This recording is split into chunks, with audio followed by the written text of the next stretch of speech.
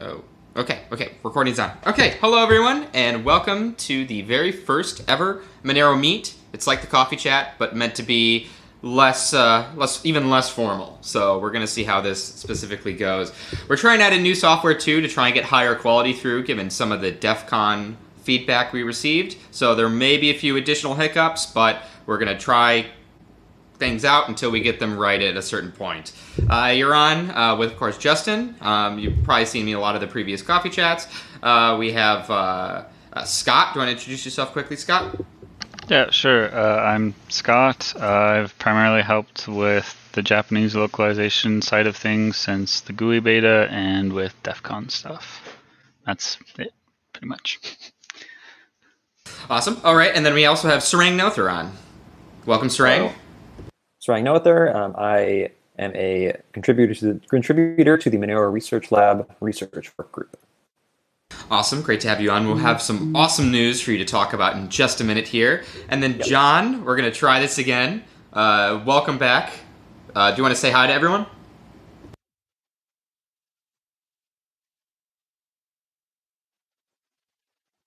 He's been having a few issues. We'll, John, be feel free to, to join in whenever you uh, whenever you like.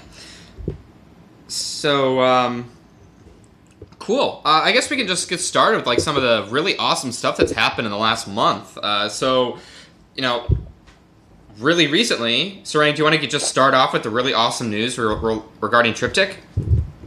Yeah, so um, Triptych is a uh, sublinear sized, uh, logarithmic sized linkable ring signature construction um, that's built on a particular kind of zero knowledge proving system. Um, and in a preprint, um, Brandon Goodell and I uh, worked out how to effectively use this construction and generalize it in a way that can be um, applied in um, a signer ambiguous transaction protocol, like could be used in um, a future extension of the Monero protocol. And this was released as a preprint, and of course, preprints don't undergo any peer review. Anyone can post a preprint, so you know you should always read it skeptically and with very critical eye, you know, as you should have with this. Um, but we also uh, did some submission to various locations for conferences and workshops, um, which can be a very long and kind of grueling process. And I'm very happy to announce um, that the Triptych preprint um, will be published in the proceedings for the 2020 ESORICS uh, CBT workshop. And I never remember what it stands for, so I looked it up on this device. ESORICS, which I never remember, is the European Symposium on Research in Computer Security. ESORICS. Um, and that is a conference, and um, it's being handled remotely. You know, as a lot of conferences rightly are. And um, the particular workshop is the workshop on cryptocurrencies and blockchain technology, or CBT. So um, the um, what was the preprint um, has undergone peer review, and it will be included and published in the proceedings of the ESORICS conference's CBT workshop. and then I will be presenting it remotely in September, late September. I have to look up the date on that um, as a presentation. So that'll be very exciting. Um, I don't know right now if the presentations um, are allowed to be recorded or if they'll be made available after the fact. Um, I do know that it's possible to register to attend remotely for, I think it's 25 euros. So not bad in, in the grand scheme of conferences. Um, so hopefully folks who are interested in attending that can. Um, and we'll have a blog post up that includes a link to the tentative program, which includes a lot of other really interesting looking papers. So this is big news um, you know, publication and peer review again is it's it's never a guarantee of you know the, the it's no guarantee that everything is completely optimal in the paper, but it does provide additional confidence that the construction is worthwhile and hopefully it's useful. I mean that that's phenomenal news. I, I really like how you describe to people the idea that a preprint is basically just a PDF upload site. it, is, it, it, is, it is a PDF upload site that does have a very minimal um, editorial. I don't even want to call it editorial review. It's just kind of editorial gatekeeping. You can look up, for example, the IACR ePrint archive is kind of the, the standard one used for applied cryptography, and they have a list of their acceptance criteria, and it's basically is like it appears to be relevant, um, and it has some kind of claims or proofs. There you go. They specifically note that the editors don't review them for accuracy or correctness. Um, preprints are a really good way for researchers to rapidly get out research that's in progress to other researchers and practitioners. So, you know, anytime you read like, ah, a new study shows, you're like, well, what does that mean? Preprints do not undergo peer review, but it's really nice because they're made available. And having knowledge be broadly and freely available is a good thing. You just have to be careful to understand what it means um, when it's in different formats and, and venues. So, you know, undergoing peer review is, is also no guarantee. Like some peer reviews done really well and some peer reviews done really, really badly. Um, but you know, it's it's an additional layer in the process, and it is a good thing. That's super cool. I, am sorry I have to interrupt, Scott. Is that a Stark Industries coffee mug that you have right there? Yeah, yeah. Sorry. Do you also have big news that you're going to share now? No, no, yeah, no, no, no. Just just a big fan. I have an unwieldy amount of one six scale Iron Man figurines and 3D print models. So, anyways, yeah. Far, cool. far, far. I'm surprised you don't have your background just like making you seem like you have those like Iron Man suit wings or something coming out of the back. Yeah, I mean, perhaps another time. Yeah, I'm just I like Ghost in the Shell too, so I have the Ghost in the Shell background is what I prefer to use because I feel like it's not too overwhelming or too gaudy or what have you. It's just a a room shot. But sorry, so can you explain that to someone who's never heard of this before? Uh, what what specifically? Ghost in the oh, room or whatever. Uh, no, Ghost in the Shell. Sorry. So I it's a room shot from the uh, original Ghost in the Shell. Uh, so, um, which I'm a big fan of the various interpretations of Ghost Shell for the most part. Um, so, the, we don't need to go into uh, a long discussion about the choreography or the the shots and the, the the themes in Ghost in the Shell. Just I like it. That's it. Okay, yeah, I've never heard of this before, so I'll certainly have to look it up because I have no understanding of what this is. Scott has all the really fun hobbies over here. I'm just, I don't know, lame. Spent all my time on Monero. You know, lame, like a lame person.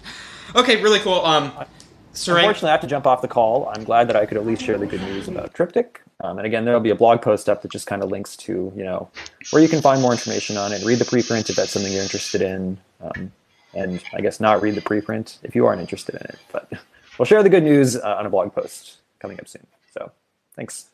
Awesome. Well, thank you so much, Sarang, for being on. Um, very fun stuff. I had to click a button to actually remove them from the recording now. Okay, cool. Um, so, uh, JW, did you did you get any uh, or have any luck on your audio at this point? Can you guys hear me better? Much better, much better. Okay. Yeah, I, I grabbed a little old laptop. My personal laptop died like a week ago, so I'm like in between computers. I have a desktop that doesn't have a webcam or a microphone and doesn't have Bluetooth. So if I want to use Bluetooth headphones, I need to use my phone or I have an old Surface. So I'm using the old Surface now, and apparently that fixed it a little bit. Other everybody else's audio is a little bit kind of choppy, but I can deal if it if it sounds okay for everyone uh-huh. else. We're probably just sending too high quality data, and your Surface is panicking. If I had to guess we're, we're doing pretty demanding things. Like my, my computer here is like at like ninety percent CPU use, so I'm sure anyone that has a slightly weaker CPU will have have some trouble. So maybe we'll, we'll lower the settings a little bit next time. Uh, but of course, great to have you on. Do you want to give a quick introduction about you know John, who you are and what you do? Sure. So my name is uh, John Murphy, and in real life, I am a scientist uh, at a national laboratory. I work on semiconductor development for kind of different kinds of uh, novel radiation detectors and energy harvesting systems. Um, and in Monero world, I've been involved in some capacity since kind of 2014, shortly after launch. Um, I have made some really terrible uh, front end graphical user interfaces for uh, the wallet, as well as uh, some mining programs that are like command line only. So you put a, a little button on a panel that people can just click and start mining, and it makes them happy if they hate the command line. Um, and I also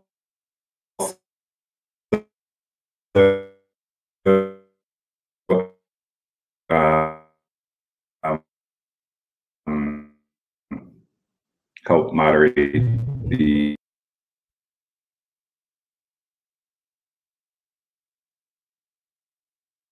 Ooh. Uh, fun stuff, huh? Uh, yeah, thank, thank you, John. That was awesome. Um, of course, great to have you on the here.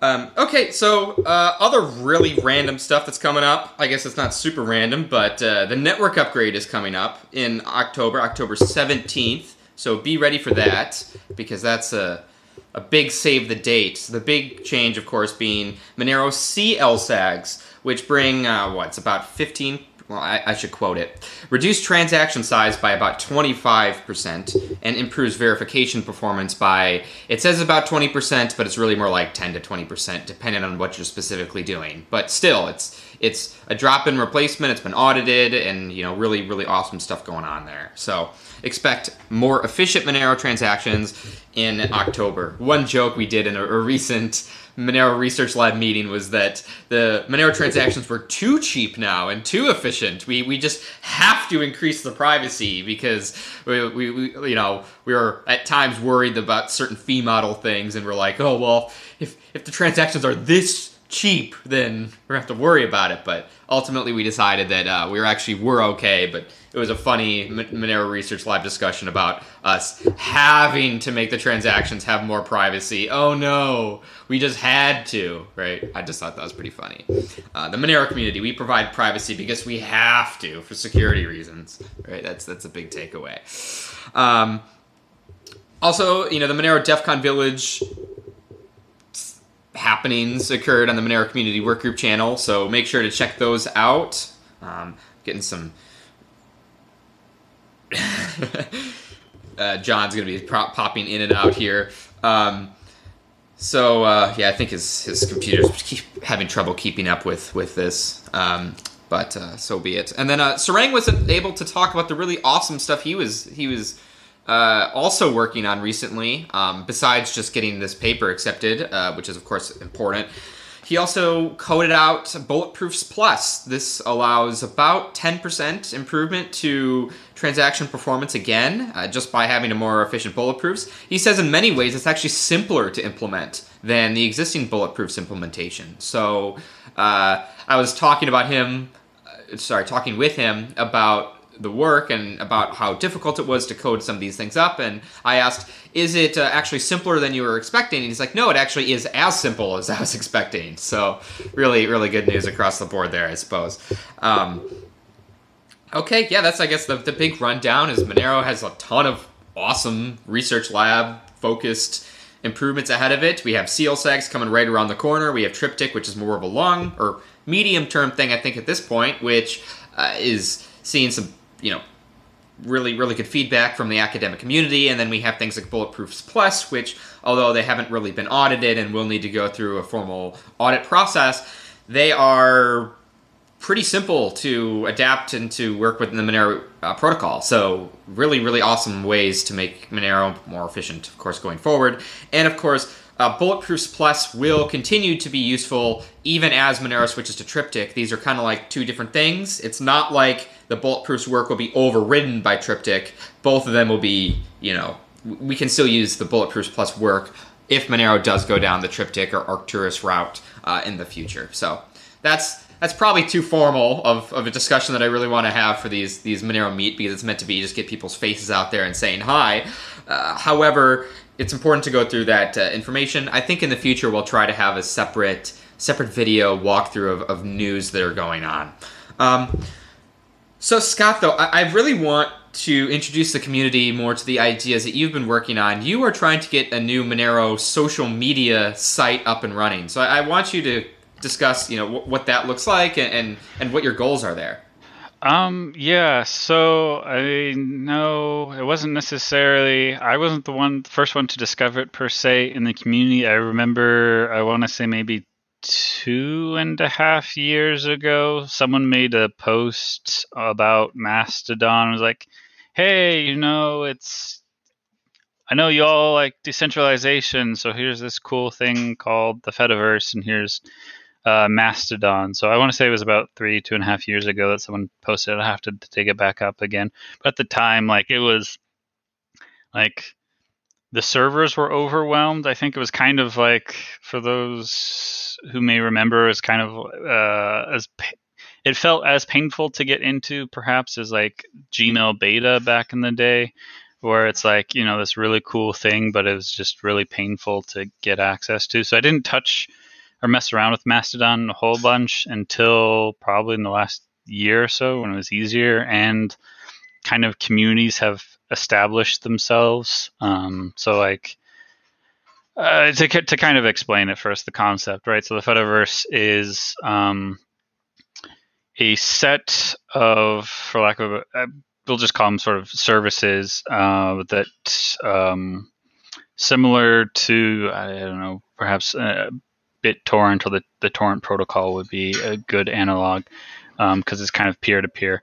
But people build up their own servers or what have you, and they all interact over a protocol called ActivityPub. I mean, there's some other protocols. I think there's like GNU Status and a few others.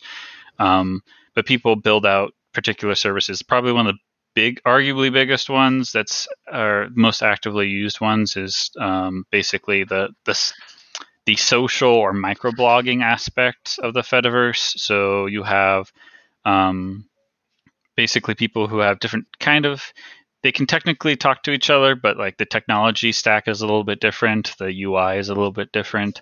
Um, so Mastodon is like you know people I've heard joke about is kind of the the elephant or you know the the, the Mastodon in in the room. Um, so if you're not familiar with Mastodon, you can kind of think of it as basically Twitter and like, but as I said, everyone um, kind of builds up their own server. And so, you know, you can have a community that's specifically for hackers and, you know, it's invite only or what have you. And then you have another instance that's for, you know, people that do photography in Tokyo or what have you.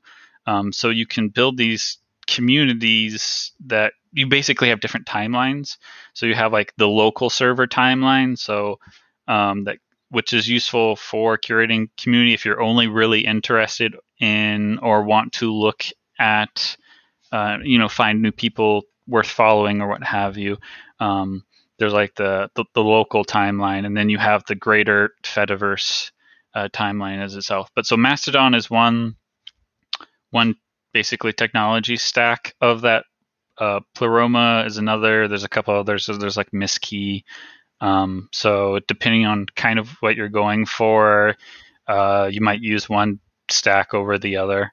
Um, but yeah, the idea is basically you own you own your community, uh, which is kind of what has drawn me to it as a particularly late, especially with the Twitter hack uh, last year, where you know you have essentially high schoolers basically as i understand it i don't know if they've done a full formal report yet to the public but from what i understand it's basically high schooler social engineering twitter employees and like twitter employees 25% of them have access to do what was done. So i think the employee base of twitter is like 1000 ish someone can correct me if i'm wrong but you know you have 250 people with access to an extremely popular service who can really screw over and do some damage. And so that that was kind of why I also like posted on Reddit or yeah, that was Reddit. Um, you know, warning, you know, if you see people like Fluffy or the Monero account saying things like send Monero and we'll double it or whatever. Or, I mean, obviously they can't really send it back because they don't know necessarily what address it came from. But you know, something along that lines where Fluffy's like, hey, you know, convert your XMR to BTC or whatever. So you have people, my concern was people who can be easily targeted. So my interest was, and it's currently building up basically a Pleroma instance where people who want to talk Monero are kind of tangential subjects can basically relatively safely um, you basically use the equivalent of Twitter, but without the security hazards of Twitter and without the uh, like data invasiveness of Twitter. So like because these are open source things, you don't have ads. I know some people really hate the algorithmic timeline thing of Twitter, so you can do chronological instead of you know whatever Twitter's being paid to send your way or that kind of thing. So you know you have all these cool aspects, and because the servers are going to be somewhere in Switzerland, you know there's there's that aspect of the the legal privacy of you know in theory hopefully no one uh, you know we can do like warrant canaries and all that fun stuff um, to make it really hard if not pretty practically impossible for say a three letter agency to get someone's you know ip logs off of the server if they spaced using a vpn or tor or what have you. So the idea is both privacy and kind of security um, and i know there's interest i don't know how much interest uh, but I, I was originally introduced to the Fediverse like over two and a half years ago by someone from the Monero community. So hopefully it's something people like. Um, and it's worth noting, like you can mirror your there are services where you can mirror um, like your status posts. So if you want to post in Mastodon and then have like a bot on Twitter, you you can set up a bot to like repost on Twitter what you post in Mastodon, or, or I should say the Fediverse.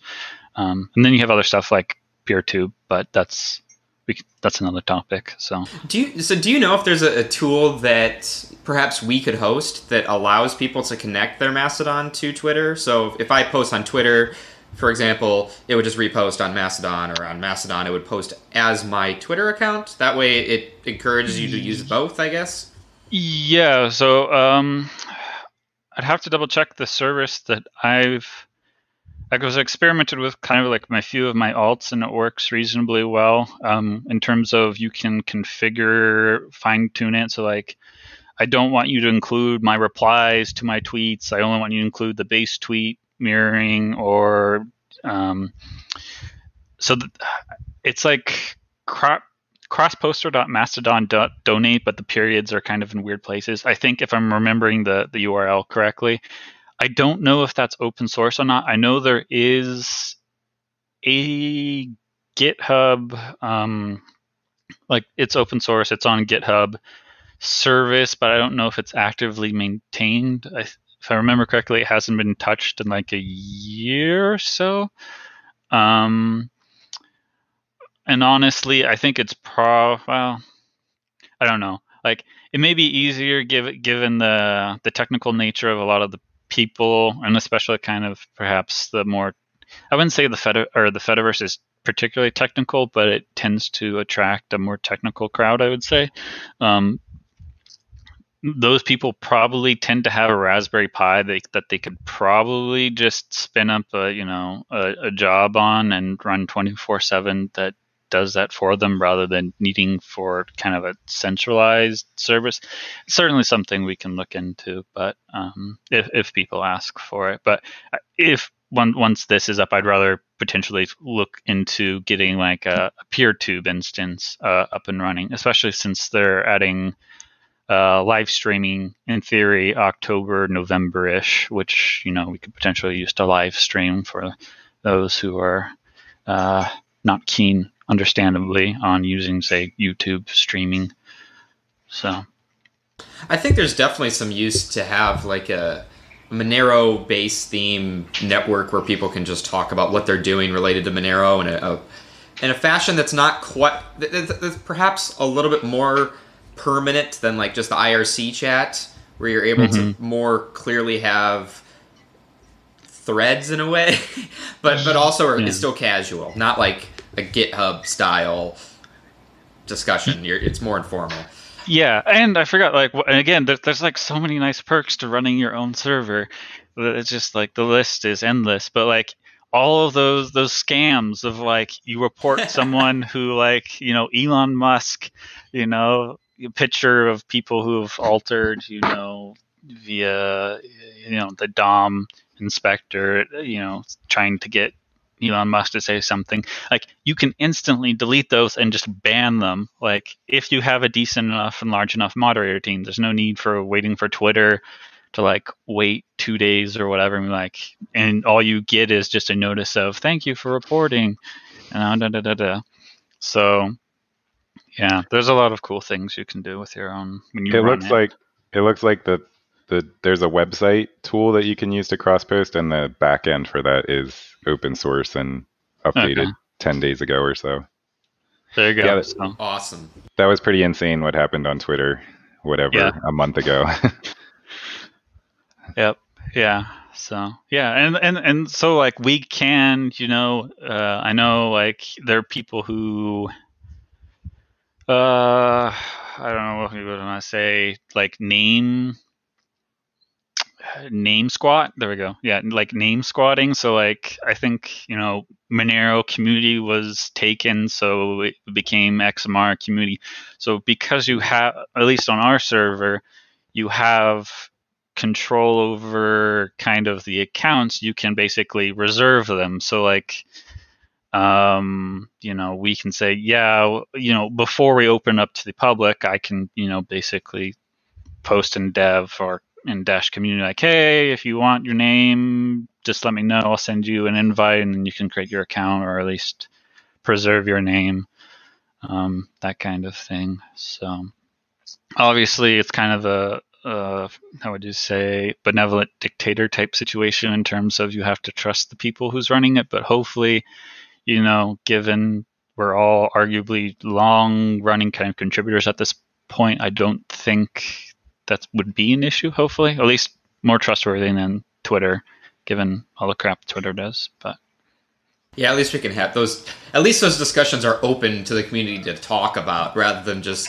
this wall where we mean nothing to Twitter. To be honest, right? Like, like Yeah. we, we mean exactly nothing to Twitter, but people people having good accounts in the Monero community at least have some value to the Monero community by comparison. So Oh, and before before I forget, another thing that I know people have been like, at least in Dash community, I don't know about the greater Moneroverse, as it were, but like you can have custom emojis, so we can finally, without having necessarily to pay Twitter, you know, fifty grand or whatever it is, you know, put whatever custom emojis we want on the our our instance, and people can use them to react to this or that. So.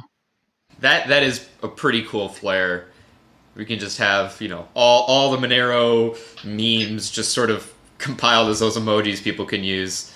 That'll I think that'll help with creativity and, and give people a reason to use that over you know other things. Do those extend to other like Mastodon or Pleroma instances? Like if if, if you view them somewhere else, like would you? I, I- I don't really know enough about how these That work together. is a good question. So I I don't typically like I would have to look into that. Um Okay. I, I yeah, so I don't cross interact with instances like the cool thing about the Fediverse is that people can pretty easily spin up, you know, alts for this or that particular interest. So like I said, if you're a photographer and you happen to live in Tokyo, there's like a Tokyo photography instance and you can have you know account specifically dedicated to that one specifically dedicated to like ubuntu because there's one ubuntu.social that kind of thing um, that's how i tend to use it but other people may use it more broadly i guess so is your server public already, Scott?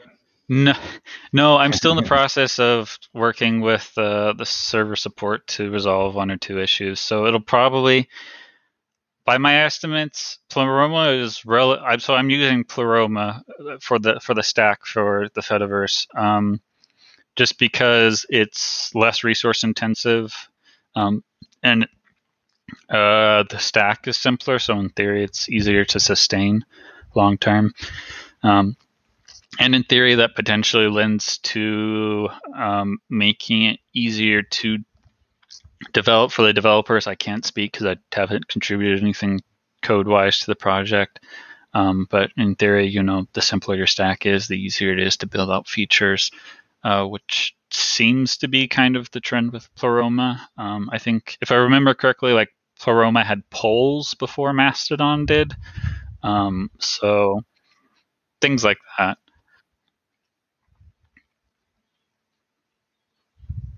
You're getting some feedback somewhere. So if I just signed up for an account on uh, the Fosstodon server, then my username is only reserved basically at fosstodon.org. Is that the way that it works? Correct. Yeah, it's similar to you can think of it kind of as email almost, right? So if you know you do jwinterm at gmail.com, that doesn't reserve jwinterm at you know Yahoo or Outlook.com or whatever. So right. So yeah, you technically can have people impersonating you in other instances, but I mean, if you have like a, I mean, it's like arguably any other identity, you you verify that's you with some other established identity kind of thing. And if we have impersonators, we can just, you know, block them from interacting with the server or what have you. So cool. When our when our instance becomes the most used instance, then yes, clearly. exactly. I, I I do wonder, like, to what extent it would create an opportunity for people to participate in the Monero community that might like like we're mostly talking about at the moment people who are already engaged in the Monero community to become more engaged because they have this other tool. But I wonder if it'd be good as a, an outreach tool in a way to get people to participate who may otherwise not join. How realistic do you think that is compared to us just saying, oh, well, like, is, is it useful to say, like, hey, uh, check out this this uh, social media instance where people are posting about like Monero related things really often. So if you go to that server, you're going to see a lot of Monero happenings. Sort of like when we put people to the Monero subreddit, they're like you get to see all the Monero postings there. On Twitter, you can just say, well, I mean, maybe search for the hashtag Monero, but like that's kind of that's kind of lame by comparison, I guess. What, what do you think is an outreach tool there? I mean, so that's oh gosh. Um I mean, it certainly can be used as an outreach tool, but it because of the nature. I'm not a. I haven't studied kind of the, the sociology or what have you, but uh, in terms of how people use kind of Pleroma and Mastodon, so I couldn't really reliably say.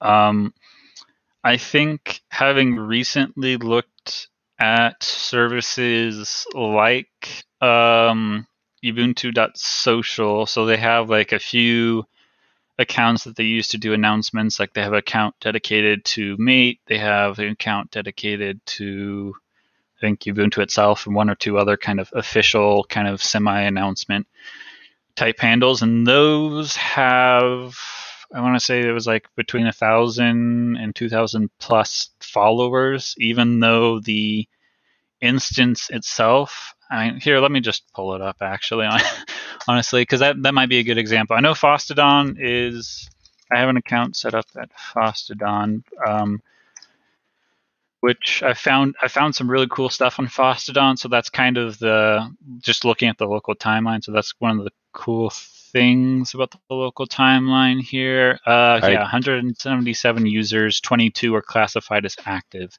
on Ubuntu. So, I mean, Ubuntu's, I would argue, it's a pretty prominent operating system and roughly 20 active users but even then uh, like the official accounts here let me pull up the inspect the or the yeah discover users. Yeah so like the official ubuntu account has 2.3 thousand uh, Snap has 1.3 thousand, Mate 1.5 thousand. So, I mean, people from other instances will subscribe, um, and you uh, presumably, you know, follow these accounts for announcement and you know relevant news. Um, whether or not like a community actually f- forms in the the the local instance itself, I would, based on Ubuntu, I don't if if it's incredibly niche, like a, a, particular piece of software, I don't think that there would be much of a community buildup per se. It would honestly, the instance is probably more more of a microblogging type uh, announcement um, mechanism. I would say more than anything else, which is fine. Which is kind of one of the reasons why I was spinning it up in the first place is to have something like that independent of Twitter. Um, but John, yeah. we just need to have some like moon giveaways or something on there. I, I know that wouldn't make sense because that's meant for a broader set of projects, but get people doing I fun just, stuff there. I just signed up for Fosstodon as well, and it's kind of coincidental, I guess, that on the local server, like three out of my top five posts are from the Fuzzstone, who's like the Monero Russia guy. yeah, yeah, yeah. So yeah, it, it's ultimately dependent on kind of the community in terms of whether community outside of announcements is formed there. So who knows? I mean, there's. Do you no... know how many people are like? If you look like how many people are are looking at the federated feed on a given day? Is there like any stats on that? Uh, I don't know. Like, because I mean, because the oh, you mean? Well, I mean, terms of metrics, in terms of like people interacting, yeah, just like in terms of is it like one is it one percent of Twitter users or zero point one percent or I have no clue. There's it's possible there's like a metric dashboard out there somewhere that that captures that. Um, it looks like it's doing about maybe one or two posts per second, I guess. So the the Fediverse itself or the Fosstodon? If I click on yeah, if I click on the like federated timeline from Fosstodon's website. Yeah, yeah. There, there's easily I think a thousand plus uh, Mastodon or Pleroma instances out there. I want to say. Granted, some of them are like super small. So right, so like uh, because it's uh, you know you can build your own thing. Uh, you know, people like I said, uh, perhaps with a service, except with Mastodon Pleroma, will buy a Pi or a, um, a Rock uh, 64 and, you know, spin up an instance just for their high school friends or their college friends or their small circle or whatever. So it'll be like a private server with like maybe 10 users. So it's. Those are really nerdy high school kids. yeah, yeah, I mean, if they can, I guess if they want, you know, hardware and they go to their science teacher or the school and like, hey, we want to experiment with tech. Will you pay for it? And like, yeah, here's a Rock 64 or whatever. Yeah. Does, yeah. So. Cool. Well, that's, I think, something that is definitely relevant post Twitter apocalypse. yeah.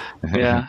Yeah. And, and the sad part about Twitter, too, is like a similar thing happened like related to access controls like maybe two years prior maybe a year and a half prior with like was it trump's account got deleted by uh, like renegade twitter employee or something. So like there's no oh, yeah.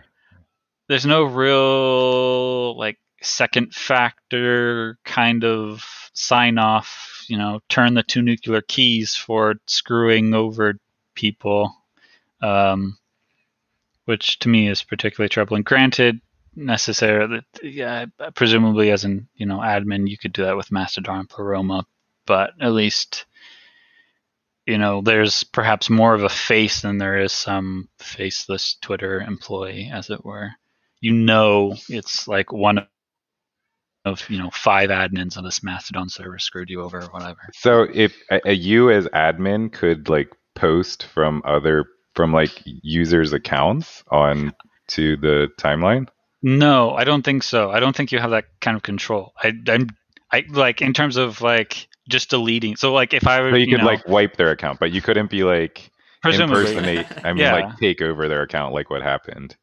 Yeah, I mean, I would imagine, or I should say, anyone with like write access to the the Postgres database would just be able to you know delete ID where equals you know blah blah blah. Um, but obviously that would be much more restricted in our case to a very very very limited set of people.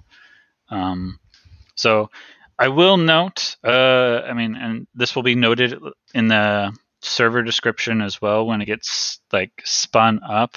But currently, as it exists, to my knowledge, all of the like micro blogging type um, Fediverse stacks, so like Misskey, Pleroma, Mastodon, all of them currently the admin, or I should say, a person with read access to the, the database itself can read uh, private messages basically as plain text. So they're not encrypted at rest. The messages are like encrypted, you know, from your browser to to the server, um, between service to server. So if you're PMing someone in another server, that when it's traveling, it's um, encrypted, but when it's at rest, it's not. So there will be disclaimer, presumably, because I don't see anyone introducing in the next two weeks.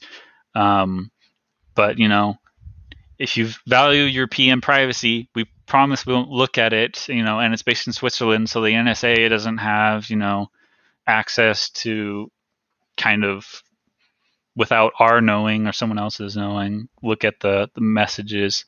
Um, Yeah, But you it- have to be- to- if if we're, if we're going to be honest admins here and be like in terms of like what we can do maliciously we could potentially read people's private messages which i don't have the time and it's not not in my interest to do so Scott's like, just there, like i really don't care what people say. I mean people can be bad mouthing me for all i care. Um but so yeah so that's just something to be aware of and i'll probably out of personal preference suggest uh, that the announce or the server description be like use something like gnu Jami because i'm personally fond of Jami um, but yeah so there there are some cons but twitter twitter is uh twitter is unencrypted as well at rest. So you know employees can read your private messages and it's a much broader set of people uh so Yeah, but it's definitely good to say don't send, you know, passwords. Don't don't send your Monero private keys in this in this chat, right? yes because yeah because if the yeah if the if you're talking to someone else in some other instance and that instance is someone with read access to that db is malicious and then yeah they can they can probably pull that so Yeah, certainly not a good idea. but it's in the works so Yeah, very cool. So changing gears here, I mean, of course, it was great to hear about this, Scott, and I'm, I'm really looking forward to joining in once this is spun up. Uh, but you know, there's been some recent price action on Monero, and I do want to bring the discussion there a little bit because we have John here, who just is uh, very active in, in a lot of the Monero markets channels and things. So uh, Monero, Monero went above $100 for the first time in, in quite a while. Uh, so I guess, John, can you walk us through the, the community sentiment? Any fun things that have happened as a result of this? We're, we're, what was the general markets activity? Uh, I still feel like Monero is a little uh, not as exciting as a lot of the other stuff going on in cryptocurrency world with all of the decentralized finance stuff. It's just still kind of taking a back seat. Um, but it was definitely nice to see Monero go over 100 while Zcash kind of crashed back down below 80 bucks or so. And I think I, I saw in one of the channels somebody was saying like it was a very long time where Monero was like maintained below the per coin price of, of Dash. And I think we broke above that as well. So people were excited for like two days there and then they started complaining when the price fell back below 100. Wasn't it only above for like less than 24 hours? yeah, something like that. well, it was exciting in the moment, of course. Uh, but, uh, you know, who knows Yeah. what happened. I was, just, I was just curious if there were like some new, like over 100 memes or, you know, something that came out of that. Mm, I didn't see any, but Okay. it's a definitely seems like things are picking up in general, and Monero is kind of late to the party, but starting to gear up as well. Yeah, fun stuff though. Yeah, it was it was kind of exciting on that end. Um, okay, any other fun like Monero related things that are going on? I know two people are in the process of trying to hop on for the last few minutes of conversation here, and they're each having their own set of problems, either waking up or uh, getting to work on their computer. I'll, I'll leave it up to interpretation, who has continuously complained about making it for uh, you know a 10 a.m. thing at this point, uh, but uh, you know their time. So uh, yeah, uh, what else is fun going on in on uh, your side of the world? I guess, John. Anything? Uh, shit's on fire, which is not fun. True. True. Yeah. Um, not. Yeah. I, I mean, it's just weird being stuck even before the fires. Like the whole uh, COVID shutdown thing is just kind of completely uh, turned off all in person. And I feel like I don't. I'm not much of like a virtual networker, and I don't know if that is the case for most people or it's just me, but I used to go to events all the time in San Francisco for, you know, meetups or whatever. And I just feel like that whole uh, ecosystem's kind of been turned off and doesn't seem to be coming back anytime soon. So I guess we need to do more virtual type events to kind of keep the you know communication and community dialogue going. Yeah, I think that's a good way to put it. We need to keep putting in efforts. yeah, Seth, Seth is having issues joining, sadly, so we'll join the next one. Maybe, uh, maybe we could do one of these tomorrow. Too much. um, uh, Doug, I think I heard you there, but you're pretty quiet. Is this thing on? It is on. There you yeah, go. we can hear you now. No, I'm talking very close to the microphone right now. I don't know why it's not picking me up too hard. No, you you're coming through loud and clear. Good morning. You, Good you morning. sound very energetic. Is maybe the first word that comes to mind here. About 30 seconds after I woke up, I pinged the channel, so you can about imagine the state I'm in. Yeah, she just, oof. Sounds sounds like you had a, a rough night last night. Even like, doesn't sound great. I know. I know you haven't seen this yet because I assume you haven't checked Reddit yet. But there was another person that responded for the tracing challenge, and they actually did introduce some. Uh, oh, what do I what do I call this? Um, they they added some graphs, even some pictures about some potential paths that that money went through from one exchange, like Trinance to Botfinex or whatever it is. Oh.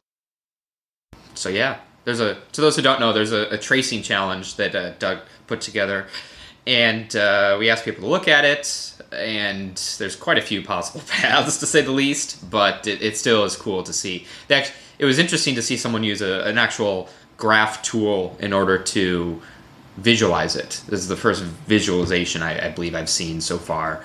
Uh, they, they, they got an EAE in there, and then they got a, a few possible EABEs, and then for EABCE, it's just is a total mess. And they're like, yeah, this is just just this is not fun. so I guess Doug, do you want to talk about what you did for the challenge here before we go? I think I should, since technically it's not finished. I could talk about the various types of things that I included. Sure, if you want. Um, I mean, I have an EAE, EABE, a bunch of dummy transactions, Mr. Churns, who churns a bunch of times, um, and then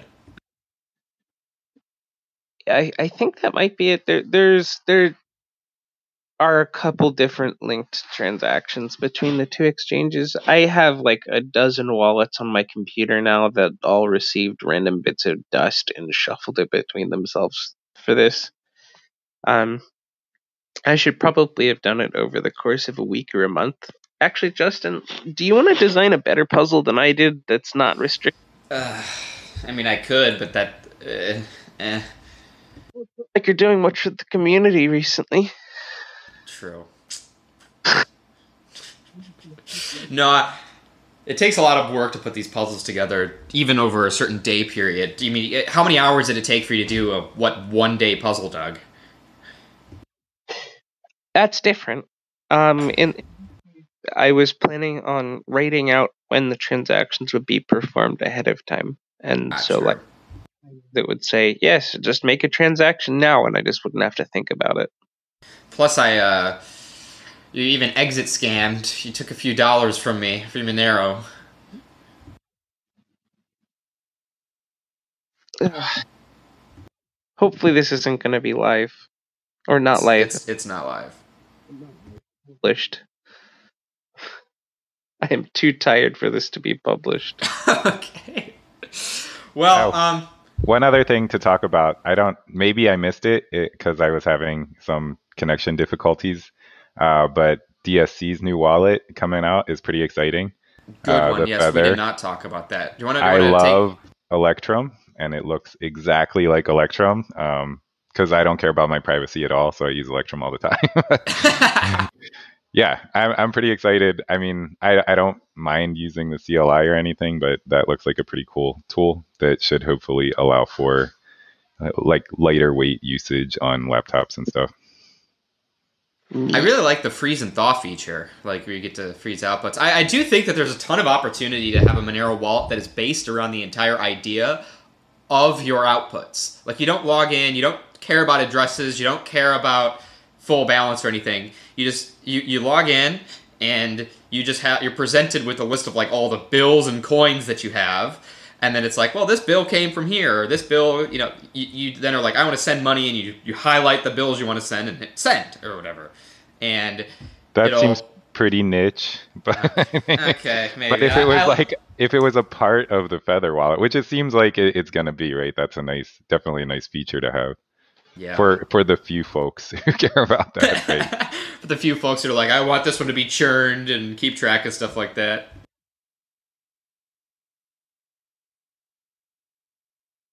But yeah, that's it's really exciting work from DSC. And and one other person, right? It was a two Yeah, let me let me look that up just so I can not. Just so we fairly attribute them, because I don't want to get throw someone under the bus for I don't yeah, know how much it work is. they put It's in. it's one other person doing the coding, and I think he's got some other people helping to run some in the nodes that they're going to use. I think I'm not positive about that.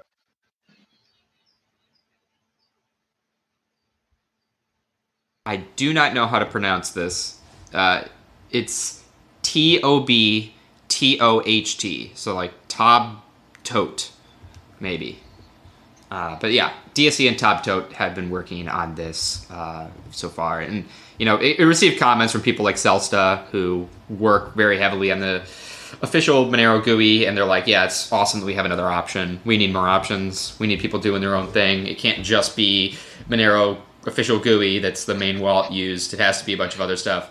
I mean, it's, it's- I mean, the original plan was actually to get the Monero GUI working on devices like Android, right? There, there were certain mock-ups that we had back in 2017 to potentially do something like that, and they just never materialized. I think uh, maybe Hike had built it for Android. He's, I mean, he was always into doing builds for ARM, and I know he had built the daemon and stuff for Android, and I think he had built it for Android at some point. Yeah, so I don't know what happened to that either.